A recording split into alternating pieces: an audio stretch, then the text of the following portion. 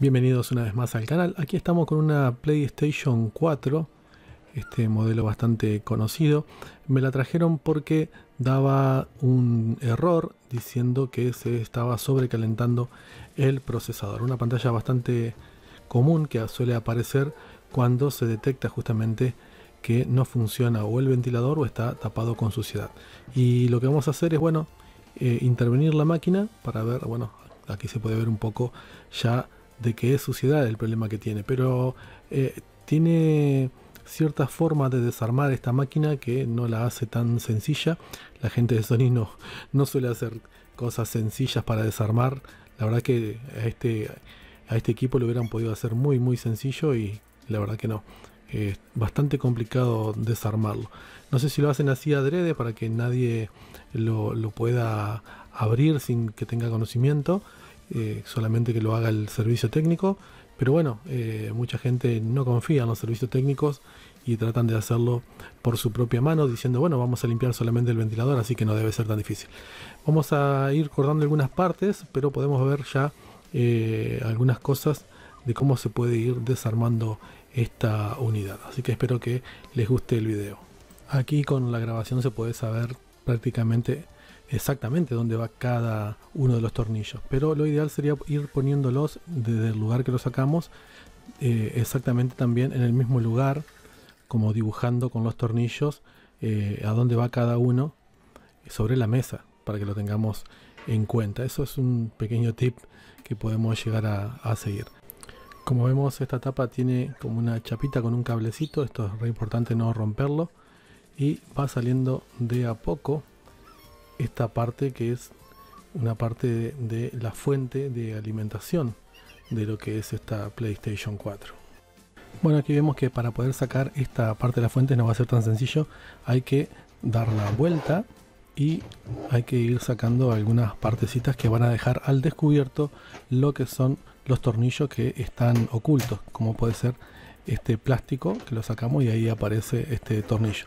Hay que tener en cuenta que hay diferentes tipos de tornillos, algunos son con cabeza Phillips y algunos son con la cabeza Torx, es decir, así como en forma de estrella.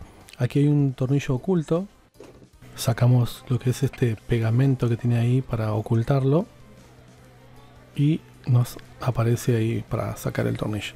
Este tornillo no es Phillips, sino que es un tornillo con cabeza Torx, es decir, en forma de estrella. El Philip es en forma de cruz. Bueno, esta parte, una vez que sacamos la tornillería, tenemos que descalzar todo lo que es el borde de esta segunda tapa. Así que por ahí no es tan fácil, hay que descalzarla con mucha, mucha técnica, mucha suavidad manual para poder descalzar la tapa. Hay que descalzarla todo el borde exterior y va a ir saliendo de a poquito, siempre con mucho cuidado para no romper nada. Ahí ya fue saliendo. Así que bueno, esto hay que tener mucho cuidado para ir haciendo este desarme, porque como dije, Sony no, no hace las cosas para que se puedan desarmar fácilmente. Bueno, ahí se puede ver más suciedad, así que bueno, vamos a tener que limpiar todo esta parte, toda esta parte muy muy bien. Así que vamos a ver cómo seguir eh, accediendo al equipo para llegar a lo que es la parte del ventilador y el disipador de calor del microprocesador para poder limpiarla. Bueno, en esta parte no va a haber cámaras rápidas porque es una parte bastante delicada en la cual debemos prestar atención. Como vemos podemos desconectar allí lo que sale fácilmente que son los conectores, el de atrás, este de aquí adelante que es un cable que está conectado a una de las antenas eh, va a presión aquí en este punto, se saca solamente hacia arriba y sale este cablecito. Eh, eso hay que tener mucho cuidado porque son cosas bastante delicadas, así que a tener cuidado no vayan a romperlo. Aquí estoy tratando de dejar todo lo más este, eh, sin romper posible para volver a conectar todo de vuelta. Aquí tiene algunos tornillitos que hay que ir sacando de la chapa que lo que es es una tapa donde eh, protege justamente la tarjeta principal o placa madre. Así que bueno, eh, sacamos los tornillitos y lo vamos poniendo en la posición en donde estaban porque puede ser que algunos sean más largos, más cortos o la rosca sea diferente porque cuando enroscan el metal la rosca es más fina y cuando enrosca en el plástico la rosca es un poco más gruesa de los tornillos. Entonces hay que saberlos diferenciar porque no podemos intercambiarlos. Así que bueno, una vez que pudimos sacar todos estos tornillos, podemos acceder a lo que es la tarjeta y la placa madre. Bueno, una vez que sacamos los 800.000 tornillos que le puso Sony a, este equipo, vamos a ir sacando las cintas o estos cables de conexión. Son muy delicados también, hay que ir sacándolos con mucho cuidado. Si lo tomamos de la parte azul, por ahí está bien, o teoríamos muy despacito. Son delicados, así que hay que tener cuidado. Y este tiene como una trabita negra que lo hacemos hacia arriba y se descalza. También está aquí la parte de que protege el disco rígido y toda la, parte de la placa madre. Así que si se nos quedó algún tornillo, lo terminamos de sacar. Ahí pueden ver la cantidad de tornillos que tiene este, esta chapa. Así que bueno, hay que sacarlos a todos unos por unos. Y ahí vamos despacio, con mucho cuidado, viendo si ya se va aflojando toda esta parte. Bueno, debemos sacar todos los tornillitos que nos quedan ocultos, trabas que tienen aquí en esta parte, porque aquí había un tornillito oculto que nos estaba costando para sacar la traba. Bueno, ahí salió, así que perfecto. Vemos que hay partes que no se nos tienen que perder, que son una especie de, de conectores que van a los microprocesadores que están ahí, tienen una pequeña disipación, así que nada de, de perderlos, eso que estoy señalando ahora con el dedo, que son los que eh, van haciendo presión para hacer contactos y transferencia de temperatura con esos microprocesadores. Así que bueno, nos queda desconectar las cintas que todavía eh, están conectadas. Así que con mucho cuidado seguimos desconectando estas partes para poder acceder. Bueno, aquí en este caso no podía desconectar esta fichita y me di cuenta que era eh, la carcasa esta que sostiene el disco rígido que no me estaba dando lugar, así que fácilmente se saca porque ya está suelta, así que ahora sí ya puedo acceder a lo que es este conector. Así que se saca con mucho cuidado hacia atrás. Esto hay que tener mucho cuidado, yo le estoy poniendo el destornillador detrás, pero eso puede llegar a, romper los cables o algo, así que tener mucho mucho cuidado con esto. Ahí ya pudo salir y aflojarse. Así que ahora bueno, seguimos eh, sacando partes, en este caso este este pedazo de metal que lleva dos tornillos solamente lo sacamos no lo vamos a perder pues son dos tornillos con forma especial no, no son iguales a todos los demás tornillos que ya hemos sacado. Y aquí aparece estas partes que son también de disipación para el microprocesador.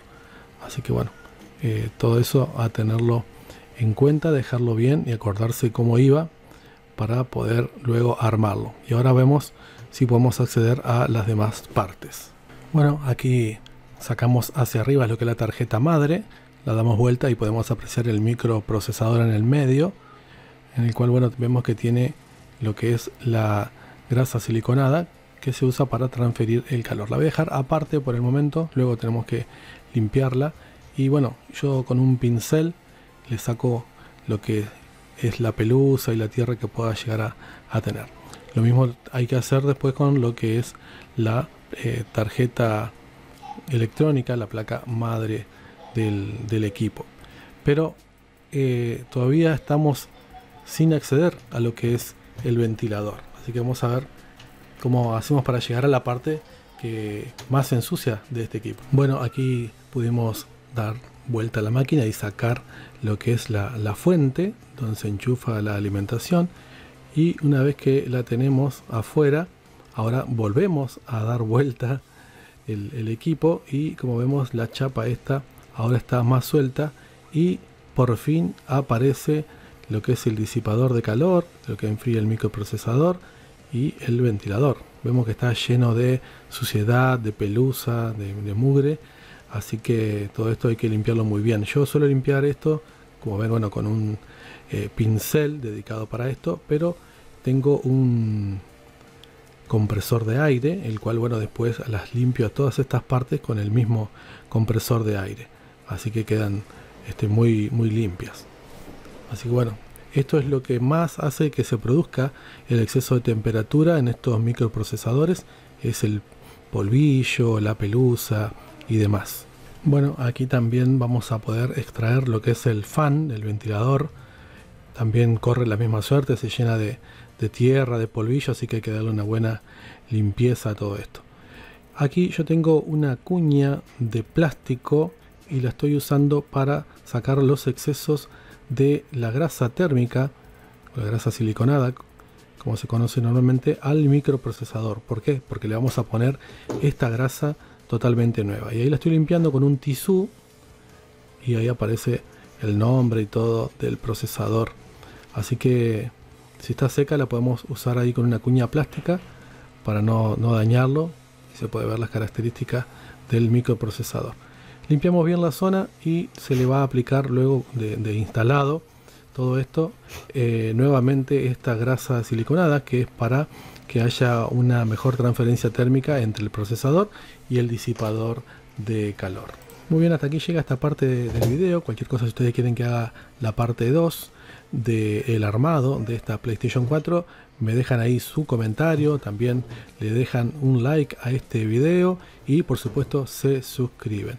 Espero que les haya servido este video, que le hayan sacado provecho y si tienen que hacer un trabajo en la Play 4, vean que no es tan sencillo, no es tan fácil el desarme, así que tener en cuenta y también tener en cuenta cuánto, cuánto cobrar porque estos equipos por ahí son muy delicados, muy caros y bueno, si, si no lo sabemos hacer bien el trabajo se nos puede dañar.